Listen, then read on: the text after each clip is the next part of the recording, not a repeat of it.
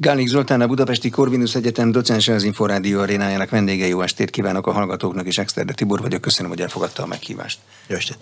A BBC közvetítését nézve második Erzsébet királynő búcsúztatása egy kifejezetten méltóság teljes a nemzeti összetartozás képét mutató ö, több nap volt, de ez egy laikus televízió néző első, meg második, meg harmadik benyomása. Mit mond el a britekről ez a szertartás, vagy ez a néhány nap egy olyan embernek, aki ért ahhoz, hogy a britek milyenek?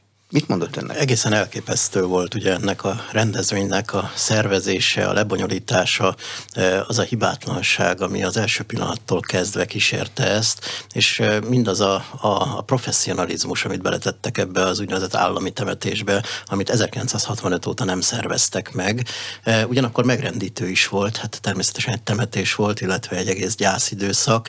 Lehetett látni, hogy ez a tíz nap, ami eltelt a királynő halála óta, ez valóban megrendített érintette eh, Nagy-Britanniában és Nagy-Britannián kívül az embereket, eh, és eh, szinte minden rezdülés, ami itt zajlott, az, az igaz volt, és, és tényleg ha végignéztük ezeket a képeket, amiket láttunk, nem csak, hogy a, a király és a királyi udvarról mondott el nagyon sok mindent, hanem politológusi, alkotmányjogászi szemmel is egyszerűen egy kincses bánya volt, ahogy ezt lehetett látni, hogy a különböző hatalmi ágaknak a képviselőit, eh, a különböző szertartásokat végigvitték, úgyhogy tényleg eh, páratlan élmény volt. Minek szólt ez a tisztelet? A királynő személyének, a királyságnak magának, vagy a királynő uralkodásban eltöltött évtizedeinek, ezt meg lehet ma már mondani ennyivel a búcsúztatás után? Hát azt hiszem, ez a felsorolás ez nagyon jó, hiszen e, ugye maga az alkotmányos monarchia az egy intézmény az Egyesült Királyságban. Itt nem csak egy személynek szólt ez, hanem e, egyszer is mindenkor annak az uralkodói e, kvalitásnak, amit második Erzsébet végigvitt, e, annak a e, professzionalizmusnak megint, amit ő az elmúlt 70 évben képviselt, e, és hát nem utolsó sorban azért a személynek is, aki mögötte volt, mögött a monarchia mögött. Ugye egyszerre mindegyik, és azt hiszem, hogy az emberek leginkább a királynőnek a személyisége és a királynőnek az összetartó ereje miatt voltak olyanok, mint ahogy láttuk a képeken, megrendültek, és ugyanakkor nagyon tisztelettudóak. Le lehet azt valahogy írni, hogy a briteknek mit jelentett a királynőjük? Mert itt Magyarországról nézve ez egy misztikus távolságban lévő személy is, meg intézmény is. Nekünk már nagyon régen volt királyunk. Ugye az Egyesült Királyságnak a, az alkotmányos formája, alkotmányos monarchia, ez azt jelenti, hogy az uralkodó az, aki az Egyesült Királyságban uralkodik, de nem kormányoz. Ez az uralkodói szerep, ez azt jelenti, hogy nagyon sok szimbolikus szerepen keresztül összefogja az országot, az integritást jelenti az országon belül, és hát az olyan nehéz politikai helyzeteken is azért tovább kell lendíteni az országot, mint amiben belekerül. Néha nem közvetlenül politikai, vagy inkább mondjuk azt egyáltalán közvetlen politikai üzenetekkel, hanem sokkal inkább az erőt kell sugározni, az összetartást kell sugároznia. Jók voltak erre a karácsonyi beszédek, jók voltak erre azok a beszédek, amik egy-egy eh, megrendítő esemény után voltak, például Diana hercegnő halála után nagyon sokan várták a királynőnek a szavait, de ugyanilyenek voltak, amikor az Európai Unióból távozott az Egyesült Királyság, kíváncsiak voltak milyen üzenettel, hogy mondjuk Skóciának a függetlensége kapcsán soha nem tett közvetlen megjegyzéseket, utalásokat tett, és ezt azt hiszem, hogy értették az emberek. Úgyhogy mindig az erőt sugározta, annak ellenére, hogy nagyon finoman tette ezt. Stabilitást sugárzott, vagy erőt, vagy a stabilitás erejét sugározta? Hogy lehet ezt megfogalmazni? Hát talán azt lehet mondani, hogy a, a kiszámíthatóságot, azt, amire nagyon szüksége volt az embereknek az elmúlt 70 évben. Az Egyesült Királyságnak a történelme nagyon viharos volt. Hát természetesen korábban is, hiszen megkezdődött az a hanyatlás a 19. században, ami egy világbirodalomból egy regionális középhatalommá hatalomá eh, való süllyedésnek a különböző fázisait jelentette, és a királynő ebben a nagyon-nagyon nehéz időszakban a második világháború után lép trónra, és végig kíséri az összes eh, ilyen nagy történelmi eseményt, ami az Egyesült Királysággal megesett. Úgyhogy nem csak belül jelentett egy politikai eh, menedéket, hanem bizony az egész világban, hiszen nagyon sok országnak volt az államfője, 15 országnak ugye az Egyesült Királysággal együtt, illetve a nemzetközösségnek is a feje volt, és azért nem mondjuk ugye, hogy a, a, az anglikán egyháznak is ő a legfőbb kormányzója. Mi a britek hozzáállása az alkotmányos monarchiához? Mit vár egy brit az alkotmányos monarchiától? Először is ugye várni is lehet, de hát van adottság is, hiszen ez az államforma, hogy az Egyesült Királyságnak nincs egységes írott alkotmánya, viszont ez a szerep, amit a monarchia betölt benne a 17. századnak a végétől, ez ugyan modernizálódott sokat, de azért alapjaiban a mai napig ugyanaz. Ez egy olyan típusú politikai rendszer, amiben az államfő az állandóságot képviseli, ugye nem választott, hanem születési jogon jár az államfőség, ezt nagyon sokan kritizálják a nemzetközösségbe, de mindenképpen bele kell tanulnia az államfőnek, el kell fogadnia azt a közszolgálatiságot, amit második Erzsébet nagyon professzionálisan végzett. Egész uralkodása alatt, ugye ebben különböző időszakok voltak, a második világháború az nem volt egy nyugodt időszak, aztán egy csomó nyugalmasabb időszak jött, aztán a beláborúk időszaka jött, ugyanazt képviselte mindvégig?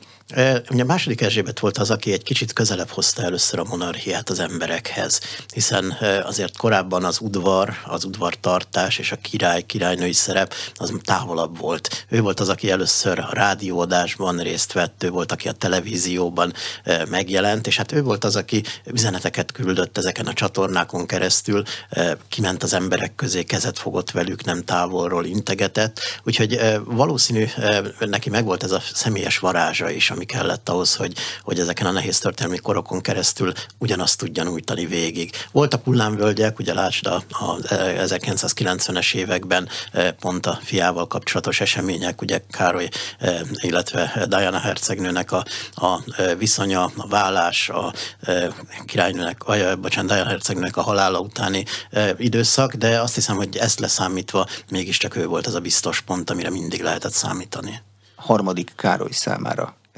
második Erzsébet pozíciója, minősége, ez előny, vagy inkább hátrány? Lehet-e már ezt érezni? Biztos, hogy hátrány. Ugyanakkor azért vannak előnyei természetesen, de hogy hátrány abból a szempontból, hogy ő a legrégebben a trónra váró, aki ugye 1950-es évektől kezdve tulajdonképpen, amikor a királynő hatalomra jutott, arra a szerepre készül, hogy egyszer majd király lesz.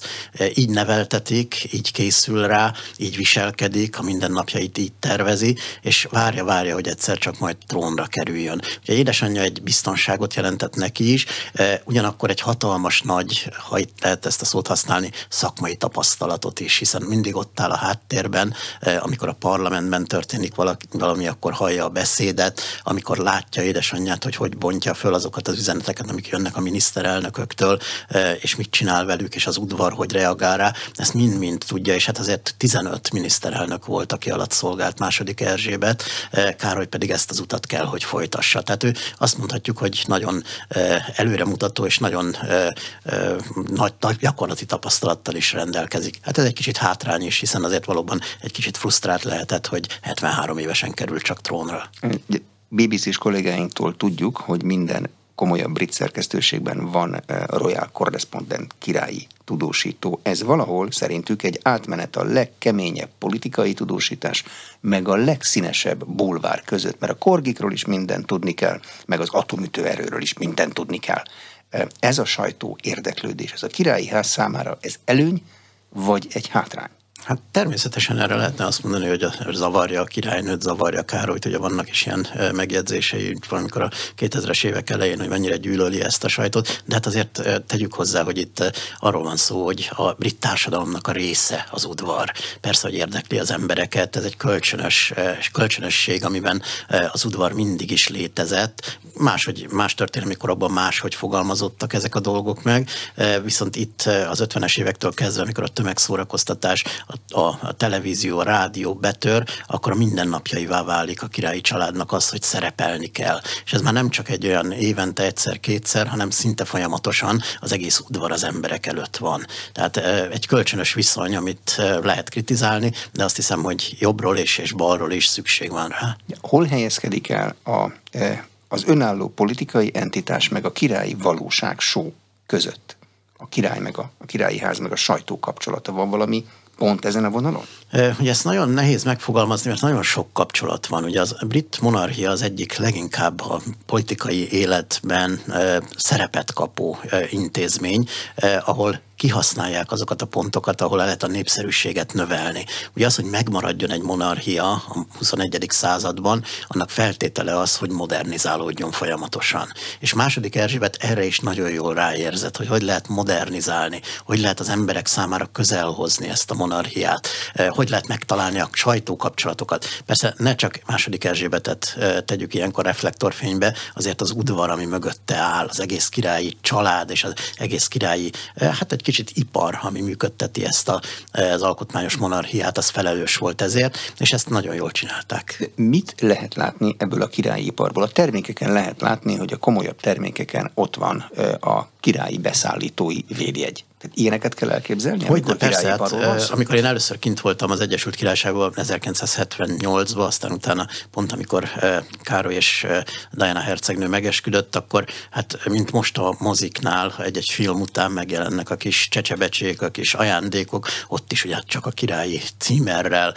az ifjú párral és a, a különböző ajándéktárgyakkal voltak tele az utcák, és ha bemegy ma valaki egy londoni boltba, ugye lehet vásárolni ezeket nyakra fő főre. Tehát valóban ez egy ipar, egy igazi ipar, ami, ami a mai napig virágzik, és nem hiszem, hogy ennek más folytatása lenne mivel mulatja az idejét a királyi ház. A királynő az többé-kevésbé szem előtt van. Amióta van bulvársajtó, azóta a királyi ház tagjai is többé-kevésbé szem előtt vannak, mert üldözik őket fotósok. Ez egy kettős kérdés, mert, vagy inkább a válasz kettős rá, hiszen azért második Erzsébet az lehúzta azt a függönyt, ami mögé be tudott menni. Nagyon sokan mondják, most lehet nagyon sok cikket is olvasni erről, hogy az önéletrajzírók bajban vannak, mert nem igazán tudják, hogy milyen személyiség volt, mit gondolt a dolgokról.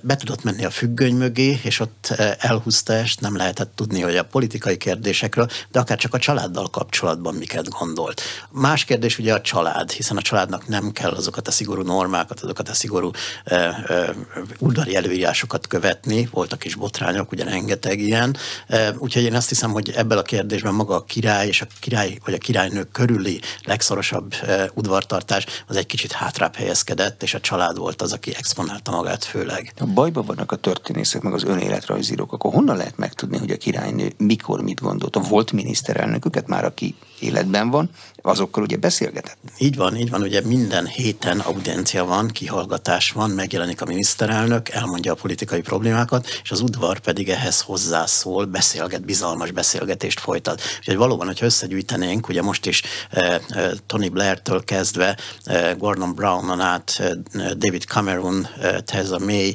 eh, és ugye Boris Johnson is részt vett, mint korábbi miniszterelnökök ezen a temetésen. Ha ők beszélni tudnának, egész biztosan egy sokkal finomabb kép alakulnak ki az ő politikai nézeteiről. De, és még egyszer, eh, második Erzsébet ezeket nyilvánosan soha nem hangoztatta. Az ma már világos, hogy a brit politikai elit mit gondol a királynőről, egyáltalán ugyanazt gondolja, és hát vele együtt a királyság intézményéről is. Ugye a brit politikai elit eh, korábban, mondjuk a 90-es években sokkal megosztottabb volt ebben a kérdésben. Eh, a magának az alkotmányos monarchiának a szerepe azért átértékelő volt, átértékelve volt a, a 90-es években. Tony Blair volt az, aki egy hatalmas nagy reformot akart csinálni, eh, és a felsőháznak a reformját elindította, de aztán kudarcba fulladtak ezek a próbálkozások, és ma azt lehet játni, hogy egy kölcsönös tisztelet és egy kölcsönös szükség van egymás iránt. A monarchiának szüksége van a stabil politikai rendszerre, mindig ezt kell biztosítania, és a politikai rendszernek, a kormánynak és a szélesebb kabinetnek, de mondhatnánk az egész parlamentnek szüksége van arra, hogy az uralkodói ház biztosítsa a stabilitást. De mivel tudja az uralkodói ház biztosítani a stabilitást? A puszta létével, hogy egy történelmi intézmény? A puszta létével, ugye azzal, hogy eh, az uralkodói ház az a nemzeti identitásnak a része. Ugye a nemzeti identitás nagyon nehezen lehet értelmezni az Egyesült Királyság esetében, hiszen ugye itt egy nagyon bonyolult, összetett identitás hálóról szoktak beszélni a szakirodalomban, eh, de az biztos, hogy eh, ebben a britség és maga a birodalmiság az nagyon sokáig összekapcsolódott a királyi házzal. Ez miután elkezdett a birodalom leépülni, még mindig megtartja ezt az összekapcsoló erőt és azt hiszem, hogy ezen a nemzeti identitáson keresztül van egy nagyon fontos szerepe, amit pontosan lát a politika. Tehát, hogy az emberek ezt elvárják, nagy a támogatottsága a monarchiának, bíznak benne, odafordulnak, ha valami probléma van, legyen szó a Brexit tárgyalások kudarcáról, legyen szó botrányokról a brit politikai életben, mindig oda tudnak fordulni, és erre nagyon szüksége van a politikának, és várja. Hogy lehet leírni egy brit ember fejében a birodalmi identitást, amikor már nincsenek gyarmatok? Mit gondol egy brit a birodalmiságról? Ugye ez is összekapcsolódik azzal, hogy a modernség és a modernitás hogyan jelent meg a brit politikában, az alkotmányos rendszerben és a nemzetközi kapcsolatokban. Ugye hát amikor egy ország így a, a, a hegemóniának a csúcsáról e, kezd lecsúszni, és ez történik a britekkel a 20. században, akkor mindig vannak ennek mellékzöngéi, akár a politikai életben, alkotmányos életben, katonai, e, katonapolitikában, bárhol. És ezt nagyon okosan csinálták a britek. Voltak ugye véres epizódok azért a második világháború után is, gondoljunk Indiára, de, de azért amikor elengedik a gyarmatbirodalmat, akkor ezt nagyon okosan teszik. Nem erőltetik ezt, hanem választásokat, lehetőségeket adnak nekik, és ebben az alkotmányos monarchiának van egy szerepe. Azt mondják, hogy tessék, ami eddig működött, azt próbáljuk meg továbbvinni, Ugye 1931-ben elkezdik újjá szervezni a birodalmat a Westminsteri statutummal, illetve egy egészen új a brit nemzetközösség néven futó gazdasági egységgel, és utána ez az 50-es években, amikor második Erzsébet hatalomra jut, megint választás elé állítja őket. Nem azt mondják, hogy ez lesz, hanem hogy tessék, választatok, jó ez nektek, és tovább viszik. Most megint egy ilyen választási lehetőség lesz, hiszen nagyon sokan mondták, hogy második Erzsébet halála után újra el fognak gondolkodni. Itt van Károly, megint kérdés, hogy jelenti ezt az egységet most a brit monarchia ezeknek az országoknak. De ez úgy hangzik, mintha a király személye jelenteni az egységet ezeknek az országoknak, mert ha Károlyjal kezdenek elgondolkozni, akkor második Erzsébettel nem kezdtek el gondolkodni. Hát van ennek megint egy identitás komponense, természetesen mennyire szeretem a monarchiát, mennyire vonzódok ahhoz, hogy nem választott államfő van, hanem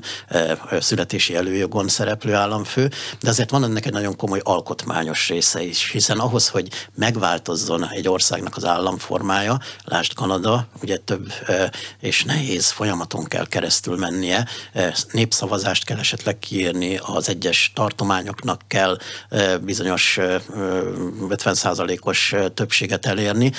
Ausztráliában ugyanez a helyzet, ott is több fordulóban kellene, tehát nem nehézkes lesz. Ez egy politikai folyamat, és ebben az emberek felé oda kell mindenképpen figyelni, hiszen ők is szükségesek a döntéshez. Milyen a brit nemzetközösség államainak kapcsolata most? Ezt hogy lehet leírni? Hát legyünk pontosak, ugye amikor 1931-ben ezt megcsinálták, akkor hívták brit nemzetközösségnek, és ez is az okosságnak és a finomságnak egy része, hogy elhagyták a britet belőle az 50-es évekbe, és most már csak nemzetközösség. Hát azt lehet mondani, hogy e, ez egy e, olyan e, entitás, ami sokkal inkább a kulturális kapcsolatokon, a nyelven és a művészeteken keresztül kapcsolja össze a volt birodalomnak a részeit. Nagyon sok ország tagja ennek, ugye több mint 50 ország tagja, tagja, különböző államformákkal, kezdve attól, hogy eh, lehet valaki köztársaság, vagy lehet az államfője, ugye az Egyesült Királyságnak az államfője a királya, eh, de nagyon sokfélék. Úgyhogy nagyon sokat, nagy sokféleképpen gondolkodnak a monarchiáról és a monarchia jövőjéről. De azért mindenki abban egyetértett, hogy eh, ez jó neki valamilyen szempontból. Hogy ennek vannak-e gazdasági vonulatai? Van nagyon sok helyen. Vagy vannak-e olyan lehetőségei, mint a sportban, vagy kulturális kulturális életben, eh, vagy akár csak a szimbólumokon keresztül, eh, vagy akár csak a politikai egységnek, a stabilitásnak a helyi eh, szintjén, az változik a különböző helyeken, de mindenhol ez egyelőre az összetartozást jelenti. Stabilnak tűnik? Az összetartozás? Most, az, ha most ugye második Erzsébetnek a halál után rá kellene erre nézni erre a sok országra, akkor azt mondanám, hogy inkább stabil. Vannak olyan országok, ahol a köztársaság pártiak, vagy a kiszakadás pártiak, azok többségben vannak, vagy úgy tűnik, hogy többségben vannak, de általában ugye ők kevesebben vannak, vagy kisebb országok. A nagy országok, ugye Kanada az egyértelműen most fenntartani kívánja az államfői posztot, Ausztráliában már nem ennyire biztos a helyzet, ott, ott lehet, hogy megindulnak folyamatok, de a többiek azok igazándiból nagy változásokat nem akarnak, még akkor sem, hogyha áttérnének a köztársasági formára, a nemzetközösség tagjai kívánnak maradni. Mit nyer a nemzetközösséggel a nemzetközösség központja? London. Azt könnyű megérteni, hogy egy távoli, kisebb ország annak fontos, hogy a nemzetközösséghez tartozzon, mert számtalan előnye lehet. De London mit nyer ezzel? befolyást elsősorban, ugye eh, ahhoz, hogy megértsük, hogy hogy működik ez a rendszer, ahhoz tudnunk kell, hogy a brit diplomácia és a brit külpolitika az évszázadokon keresztül a leghatalmasabb volt. Mindenhol voltak képviselőik, az összes gazdasági folyamatban eh, részt vettek, hát tulajdonképpen az Egyesült Királysághoz eh, fűződik a modern nemzetgazdaságnak és a világgazdaságnak, bocsánat, a nemzet a világgazdaságnak a kialakulása a 19. században, eh, a monetáris folyamatoknak a kialakulása. És ezek kezdtek leépülni épülni, de ahhoz, hogy az Egyesült Királyság ott maradjon a világ színpadán, ahhoz mindenképpen szüksége van ezekre, mondjuk az csápokra, amiket kinyújt ezek felé, az országok felé. Nem rossz értelemben, nem jó értelemben. És ennek része a monarchia is. E, ha megpróbálunk ugye politikai és közvetlen politikai területre menni, akkor azt lehet mondani, hogy 2016-ban a Brexit népszavazás után meghirdették a globális Britanniának a programját, talán ismerős ez a név, e, ami azt mondja, hogy az Egyesült Királyság a volt nemzetközösség ország országai felé fordul, brit nemzetközösség országai felé fordul. Sikerült részben, de gazdaságilag nem sikerült azokat az elvárásokat hozni, viszont ma is nagyon erős a nemzetközösség, és ez összetartozás megvan. Egy Londontól távoli nemzetközösségi országnak, mondjuk a Tonga királya, ha bemegy valahova, akkor mondhatja azt, hogy jó napot, én Tonga királya vagyok, a nemzetközösség tagja, és innentől kezdve más minden további nélkül. Tehát azt mondanám, hogy, hogy mondtuk itt az identitás felől kell megközelíteni ezt, mert lehetnek gazdasági érdekek, természetesen is tudok mondjuk exportálni az Egyesült Királyságba könnyebben, mert van szabadkereskedelmi szerződésünk, de ez valahogy az identitásnak egy része, egy olyan kocka, amit hozzá tud adni, és nagyon érdekes, hogy ezekben az országokban ugye hát a gyarmati kapcsolatok nem mindig pozitív következményekkel jártak finoman szólva, mégis most egyre gyakrabban halljuk a bocsánatkérést, a korábbi bűnök kért a megbocsátásnak a kérését. Ennek is része volt egyébként a, a királyi udvar, és hát ez a folyamat folytatódhat. Úgyhogy nem lehet azt mondani, hogy, hogy itt egyértelműen negatív vagy negatív lenne a, a brit monarchiának a képe. Van-e a, a brit monarchiának puha ereje, soft power-je? Azon túl, hogy mondjuk a, a ő felsége ügynöke, James Bond, az mindig ő felsége ügynöke volt, akár is játszotta. Hogyne, ilyen? persze, hogyne, persze, hát az egész nemzetközösség, ez tulajdonképpen egy puha hatalom, ennek ugye megvan a számos, számos pénzügyi forrása, ugye például az Egyesült Királyság óriási pénzeket tesz félre ezeknek az országoknak a segítésére, már amelyiknek kell természetesen, akik a nemzetközösségnek mondjuk a szegényebb tagjai fejlesztési politikán keresztül, de ugyanígy a kulturális programok szervezésében, vagy az előbb említett sportrend rendezvényeken keresztül. Tehát itt nagyon oda hatnak, és azt mondják, hogy ne engedjék el az emberek ezt, és ugye nem utolsó sorban a nyelvi komponens is nagyon erős brit nemzetközösségbe, most már nemzetközösségbe be is lehet lépni, vagy ez egy történeti dolog? Hát elsősorban történeti dolog, természetesen, úgyhogy eh, hogyha itt csak valaki felvételét szeretné mondjuk mi, akkor eh, biztos, hogy megköszönnék, hogy érdeklődünk. Eh, az biztos, hogy el lehet fogadni ugye azokat az értékeket, azokat az elveket, de alapvetően ez a brit volt brit birodalomnak fenntartott formáció. Hogy tudja London a nemzetközösségen belül tartani Indiát is, meg Pakisztánt is, amikor a két ország viszonyát, ha valaki csak a Gandhi című filmre emlékszik, nem az állandó szeretet jellemzi? Hát mondjuk ki ugye, hogy itt eh, ebben a kapcsolatrendszerben azért vannak most is nehézségek. Hogyha megnézzünk egy vitaműsort eh, egy eh, BBC-ben vagy bárhol a tévékben, akkor mindig előjön, hogyha indiai politikus meghívnak, hogy mit tett az Egyesült Királyság Indiával, és hogy hogy várják el a bocsánatot azért, amit ők évszázadokon keresztül, vagy az elmúlt évszázad előtt, meg az elmúlt évszázadban tettek Indiának a gazdaságával, az indiai fejlődéssel.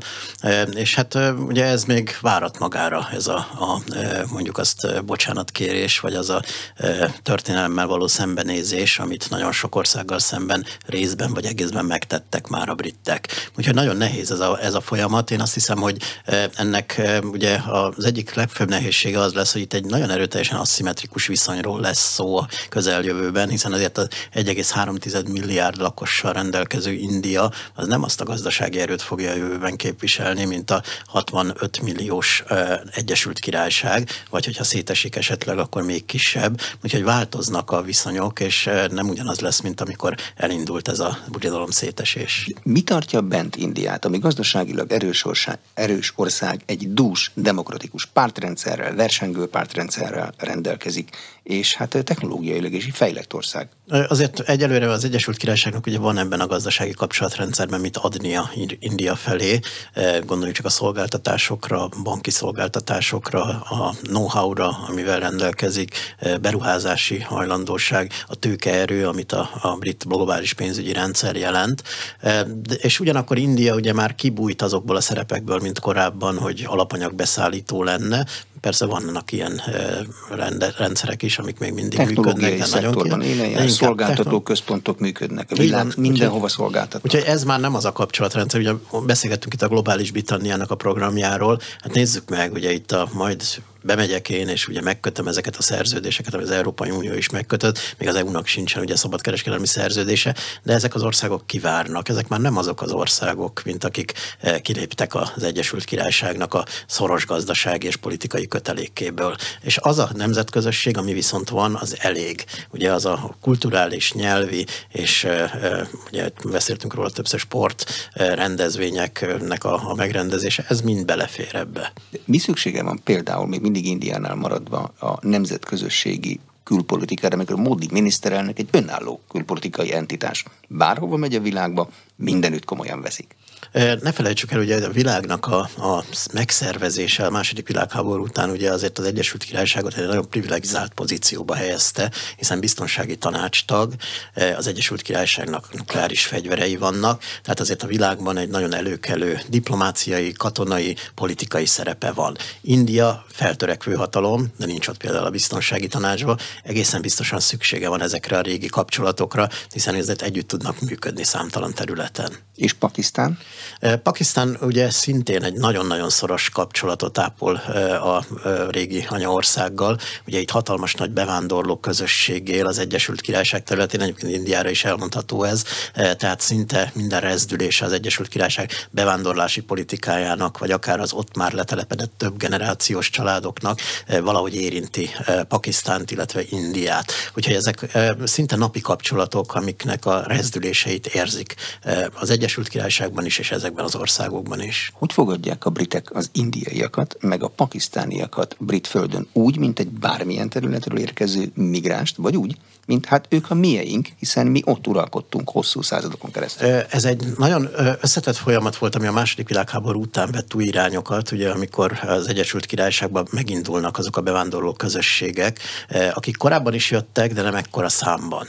Ugye Pakisztánból, Indiából a függetlenedés után kezdenek beáramlani. 60-as, 70-es években vannak olyan városnegyedek Londonban, Manchesterben, ugye a nagyvárosokban, Birminghamben, ahol rengeteg közösség tele települ meg, és mind a mai napig ugye már a többet generációs családok élnek. E, mondjuk azt, hogy toleránsabb feléjük a brit politika sokkal, integratív ereje sokkal nagyobb a társadalomnak is az ő irányukba. Ez egyébként nagyon érdekes, mert ugye hallottunk most az úgynevezett Windrush botrányról talán, ami a karib-tengeri közösségekkel kapcsolatos problémákat hozta most a felszínre. A brit kormány egyébként e, egyik minisztere ugye majdnem, hogy belebukott ebbe, sőt az egyik korábbi az még bele is bukott ebbe. E, tehát valóban itt vannak azért különböző szintjei a bevándorló közösségekkel való foglalkozásnak, de talán ezek eh, sokkal pozitívabbak, mint más irányban. De a gyarmati múlt miatt toleránsabbak, mert van mit idézőjelbetéve szégyelniük a briteknek? Vagy Ö, valami más miatt Én azt hiszem, hogy eh, itt azok a, a gyökerek, amik eh, összekapcsolták ezt a két országot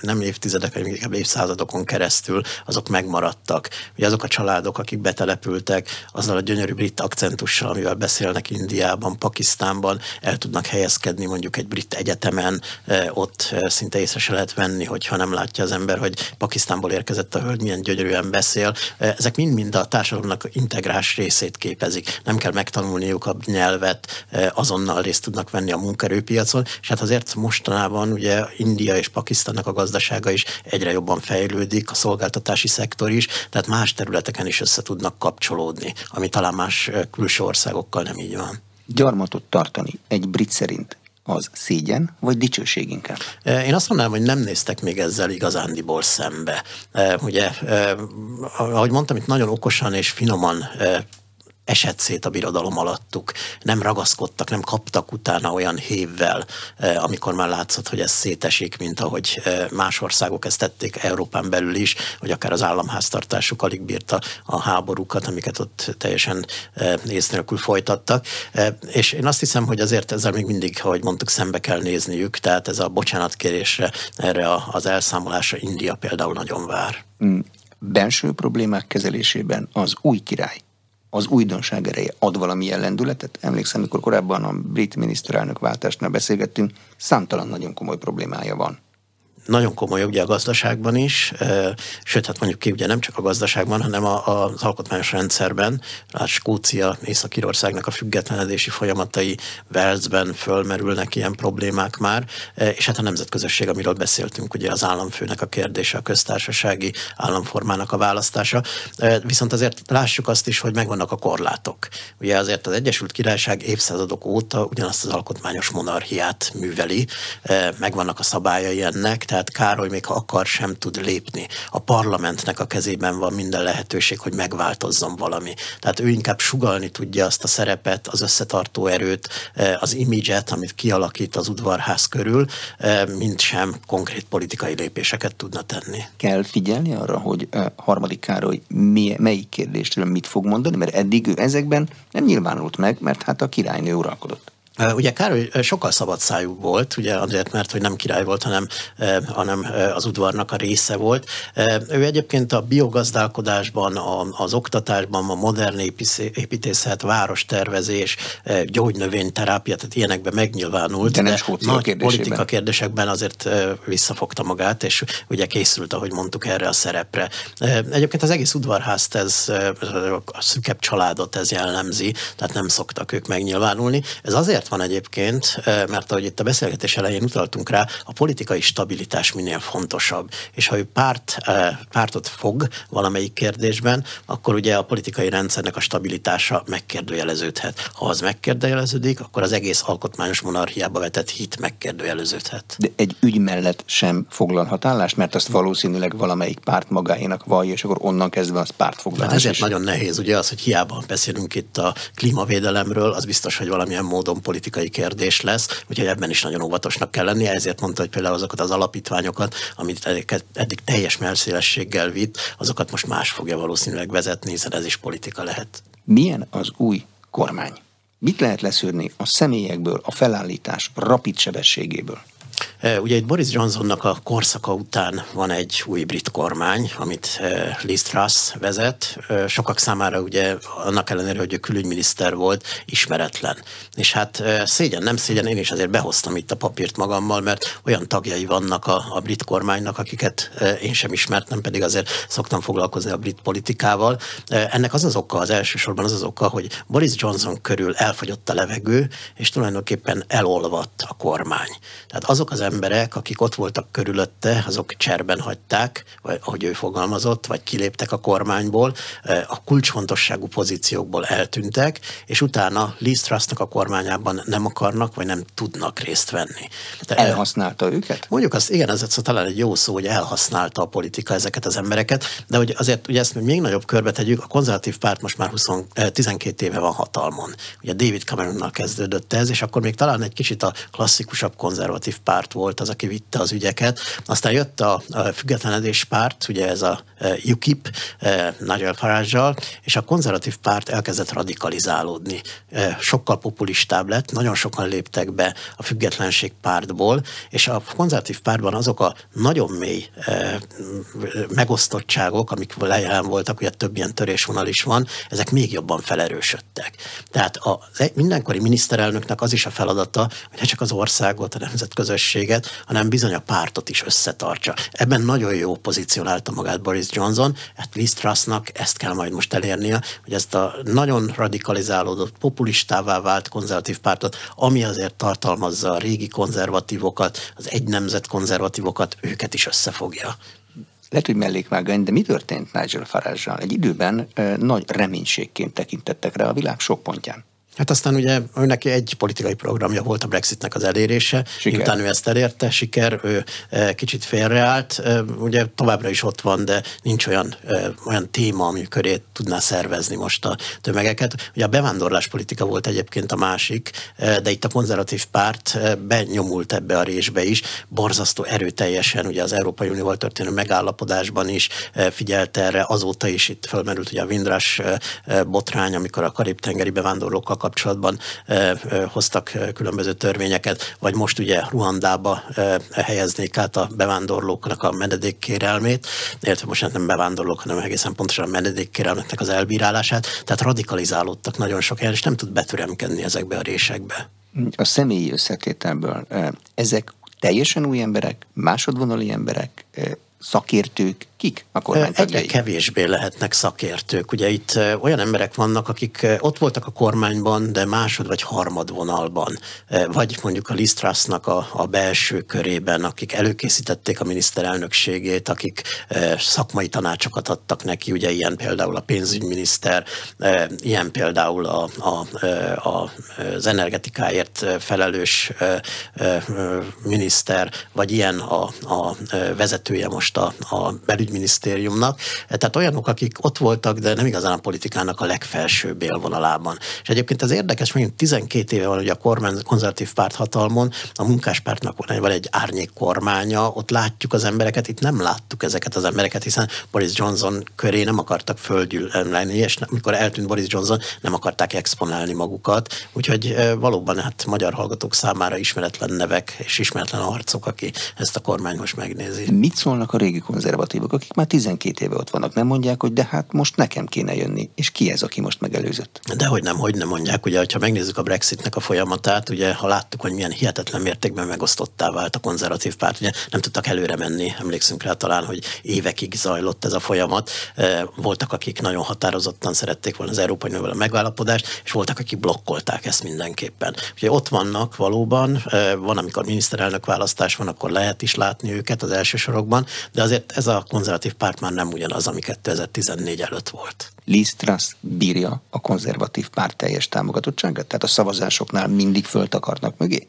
Nem tudjuk, ugye azért, mert hogy pont a királynőnek a halála miatt felfüggesztették a parlamentet. Nagyon nehéz döntések lesznek most. Ugye van egy vízió, amit ő elindított, ami nagyon szükséges lesz majd. Egy gazdasági vízió, ami visszatekint egy kicsit Thatcherre és a Thatcheri monetarizmusra, kínálat oldali közgazdaságtannak az elemeit szeretné majd bevinni a gazdaságpolitikába. Megvannak egyébként Thatchernek az emberei, akik segít segítenék ebben, de hogy ezt hogy tudja a parlamenten keresztül vinni, ezt nem tudjuk még. Mi az a kínálatoldali gazdaságpolitika? Adni pénzt az embereknek, hogy tudjanak vásárolni? Hogy kell fordítani? A, ugye két célcsoport van, akik most nagyon kényes helyzetbe kerültek, ugye ez nekünk is ismerős, nem csak az Egyesült Királyságban. Az egyik az emberek, akiknek fizetni kell a gázszámlát és a villanyszámlát, a másik pedig a cégek, kis és középvállalkozások, és mind a kettőt célozza most a gazdasági program. Tehát egyrészt az embereknek ugye a gázszámláját maximum maximalizálják, természetesen most egyszerűsítünk, a másik pedig, hogy a kisvállalkozásoknak nagy hiteleket, vagy pedig eh, nekik is a gázszámlát maximalizálni kell. Ugye ez a két célcsoport, eh, és hát azért valószínű még nagyobb változásokra lesz szükség, hiszen a gazdaság nagyon rossz állapotban van, recesszióban van ráadásul, egyensúlytalansági folyamatok megindultak, nagyon magas az infláció, a kamatokat viszi föl a jegybank, eh, és ez azt jelenti ugye, hogy akár tartósodhat is a recesszió, amit hát valamilyen módon majd le kell győzni a kormánynak. Nagy kérdés, hogy ezt meg tudja-e választások nélkül tenni, mm. hiszen valószínű az embereket azért meg kell kérdezni, hogy az az út, amit ő választott, az jó-e. De a britek kapitalizmus felfogásába hogy fér bele az, hogy ársapkákat tesznek valamire, ami drágább. Hát a brit ott születik a kapitalizmus a Földön. Hát, így van, ugye ebből is nagyon jól látni, hogy ez a válság, ez nem olyan válság, mint ami itt az elmúlt tíz évben volt, ez az úgynevezett szuverén adósságválság, ami egy aszimmetrikus válság volt. Ez egy szimmetrikus válság, ami minden országot érint itt Európában, de ezért a világban is nagyon sokat. Ugye egészen más és innovatív megoldások kellenek. Ráadásul nem csak a jellegében más, hanem a e, közgazdaságilag nézve e, én sokkal inkább itt már e, sokszor visszatérek ez az 1930 31-32-es nagy világgazdasági válsághoz lehet hasonlítani, ha nem is teljesen jellegében olyan, de a megoldások, amik szükségesek ahhoz, hogy tovább lendüljön a világgazdaság és az Egyesült Királyság gazdasága, azok olyanok kellenek, hogy legyenek. Milyen a britek tűrőképessége? Tehát említettük, már korábban is lehet olvasni a sajtóban, hogy olyan számlák jönnek, ami 5000 font, meg ilyen, ilyen számok repkednek a levegőben. Hihetetlen mértékben, ugye 2500 fontban maximalizálták most, előtte 1980 volt azt hiszem a, a maximum, de ezt felemelték 2005-re, de valóban fölment volna 5000 fontra, 5000 font felé. Ugye ez a társadalom tűrőképességét minden szempontból majd próbára fogja tenni, és ez nem csak egy egyszerű, hát valahogy majd kifizetjük a számlát, hanem itt a közvetlen elszegényedés fenyeget milliókat. Ebből profitálhat a munkáspárt, aki azt mondja, hogy egy sokkal radikálisabb programot csinálna, akár még államosításokat is bevezetne, eh, közműcégeket eh, államosítana. Eh, ezzel megy szembe most ez a konzervatív program, ami ebből a szempontból egyelőre nem túl radikális. A konzervatív programot a párt teljes mértékben támogatja, vagy azt mondja, hogy ez a miniszterelnök, ugye nézzük meg, megcsinálja, ha nem, belebukik, legyen egy választás. Ugye a párt az támogatta Liz Trust. Sokan azt mondják, hogy azért, mert nem volt jobb jelölt. És tényleg egyébként ez egy problémája a brit politikai életnek, hogy nem tud kiállítani olyan nagy, karizmatikus politikusokat, Boris korábban volt.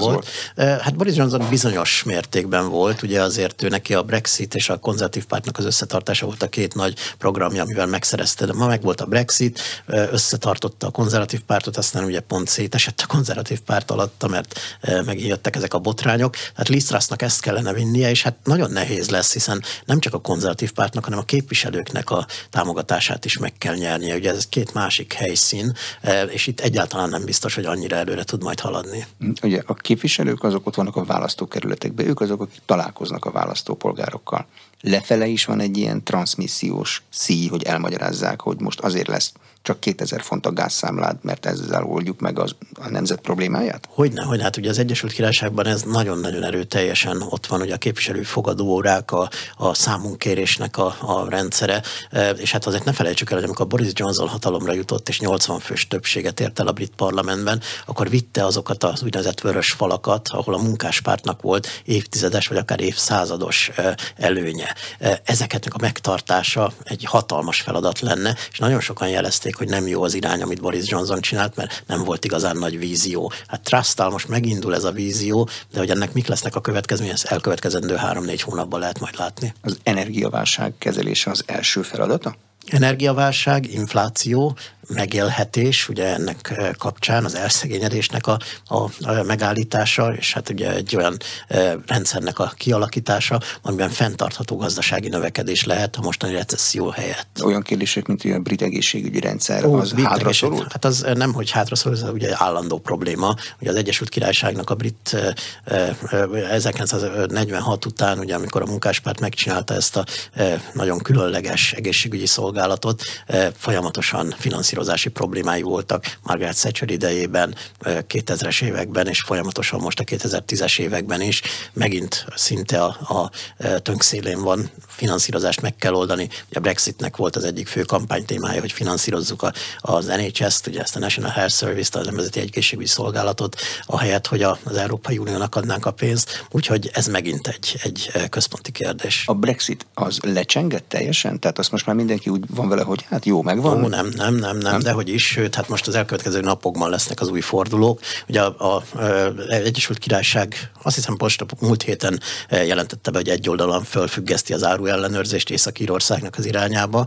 Ugye ez egy hatalmas nagy probléma lesz, mert sokak szerint, sok értékelés szerint, nemzetközi jogoszok szerint megsérti ezzel a, a Brexit megállapodást, és egyébként is azt mondták, hogy az úgynevezett 16-os cikket fogják most alkalmazni, még ez Johnson tette a nyár elején, de ugye volt egy nagy pauza ebben, ami felfüggeszteni a megállapodást az Európai Unióval, tehát akár egy kereskedelmi háború is kialakulhat. Egy, kettő pedig a szolgáltatások területén még mindig nincs megállapodásunk, és hát erre kölcsönösen szükség lenne, hiszen egy tőkeerős, nagyon jó bankrendszerrel rendelkező, biztosítási rendszerrel rendelkező, a globális pénzügyi térnek tagja próbál az Európai Unióval új kapcsolatokat kialakítani, de ez nem elég, hiszen jóval hátrább vannak most ezek a e, kapcsolatok, mint ami az Európai Uniós tagság idejében volt. Mi kárt okozna a briteknek egy nemzetközi szerződés szegés, mégiscsak egy középhatalom, egy atomhatalom Legfeljebb elmennek a bíróságra, és évekig vitatkozgatnak rajta, hogy mi legyen. Hát ezt biztos nem hagynánk. Ugye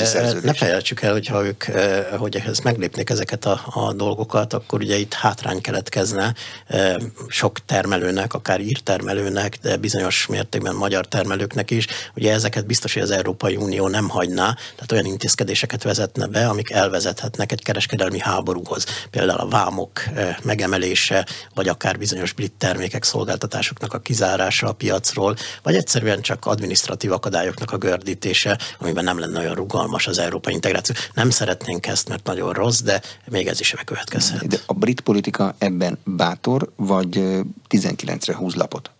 Bátor és húz lapot, tehát most húzott is lapot. Az elkövetkezendő napokban fog kiderülni, hogy mikor visszatér a normál kerékvágásba az élet, hogy mennyire gyorsan teszi meg, de várakozásaim szerint ez egy-két héten belül megtörténhet. Mit csinál a munkáspárt? Korábban arról beszéltük, hogy a népszerűségi listákat viszi, vezeti. Munkáspárt ugye hát körülbelül 8-9, sőt bizonyos mérések szerint 10%-kal is vezetne, hogyha most lennének a választások, az biztos, hogy egyelőre nem tud sokat tenni, hiszen az Egyesült Királyságban 2010 óta állandó idejű parlament van, amiben öt évre választják a képviselőket, és csak a parlamentnek a jóváhagyásával, kétharmados jóváhagyásával lehet új választást kiírni és feloszlatni a parlamentet. Ehhez kellene ugye a munkáspárt, de kellenek a konzervatív képviselők is, már nem csak a miniszterelnöknek a kénye és kedve szerint változtatják ezt meg. Úgyhogy a munkáspárt nagyon szeretne új programot beterjeszteni, van víziója szerinte, de közvetlen egyelőre nem készített olyan programot, ami majd a gazdasági válságnak a megoldását előtérbe helyezni, ez majd az új választási ciklusban lehet. Mm, e, ott van árnyék kormány, hagyományosan. Mit csinál? A munkáspárti árnyékkormány. Hogy kell elképzelni? Hm. Az Egyesült Királyság, hogy ez az árnyékkormány, ez egy az alkotmány által is, ugye van, hogy mondtuk itt, nem igaz, hogy nincs alkotmány, hanem van valamiféle, csak nem egységes írott alkotmány. Ezek a szabályok, ezek a szokások, ezek szükségessé teszik, hogy például az árnyékkormány tagjait folyamatosan tájékoztassák az aktuális ügyekről. Tehát nem csak elképzelések vannak, vagy elbújnak egy szobába, hanem a kormány folyamatosan adja nekik a dokumentumokat, elemzéseket, megbeszél jelenleg bizonyos dolgokat. Ez azért jó, mert hogyha egy változás van, egy hirtelen kormány összeomlás, akkor akár már a következő naptól át tudja venni az ügyeket. Ugye ez a birodalmi múltból táplálkozik, amikor egy birodalomban nem lehetett azt csinálni, hogy eh, hetekig vagy hónapokig nincs kormány. Ezt úgy kell elképzelni, hogy egy intézményesített információs együttműködés van a kormány meg az ellenzékek között annak érdekében, bármi történik, az átmenet az zöggenőmentes legyen? Így van, így van, egy ilyen, ilyen rendszer van. Ugye ez, amikor munkáspárt van hatalmon, és a konzervatívok vannak árnyék kormányban, akkor is működik, és jelenleg is. Sikerült-e a konzervatívoknak és Liz Trussnak Boris Johnson-t valahogy elfelejtetni? Ja, nagyon sok minden történt az ő távozása után, például a királynő halála. Én szerintem korai még erre válaszolni, ugye most mindenki ezzel volt elfoglalva.